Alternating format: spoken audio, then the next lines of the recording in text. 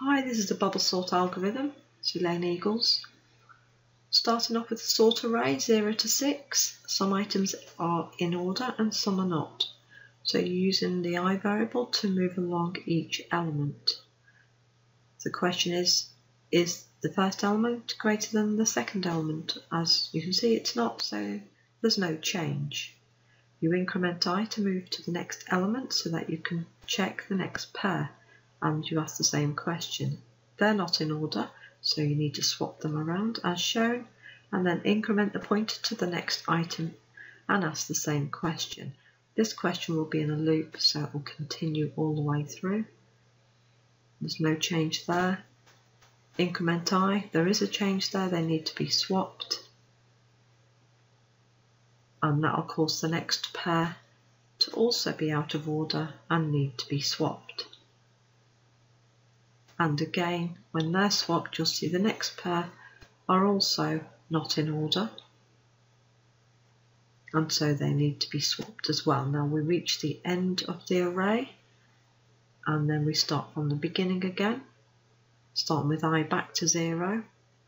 And we ask all the same questions because it's done in a loop incrementing i, checking each pair of elements and as you can see the next pair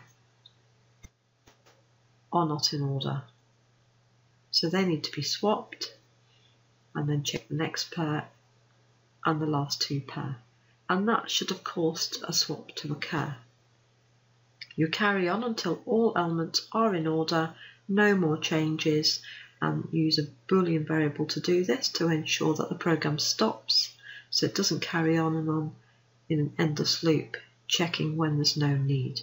So you'll have two loops, an outer loop to keep doing a pass until all elements have been sorted. Notice there was two goes through the array there and when swapping the array elements you need to actually keep a temporary variable of one of the items because you're about to overwrite it here and so you need to keep this one safe and then you can use it when you paste the value into i plus 1.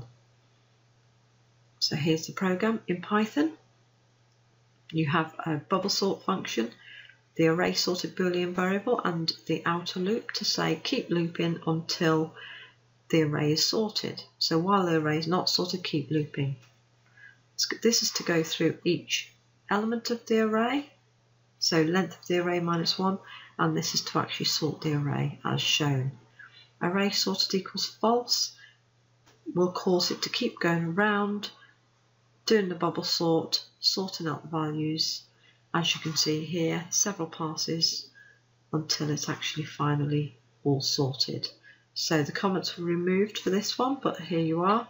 You'll see a fully commented version of the same program, which I think you should experiment with and you'll see I put zero there instead of false but other than that the program works absolutely fine so when it comes to writing things like this make sure that you write it all down do a dry run fully understand it before implementing it in the chosen language. And that way you'll find it much easier. So that was the bubble sort and hope that helped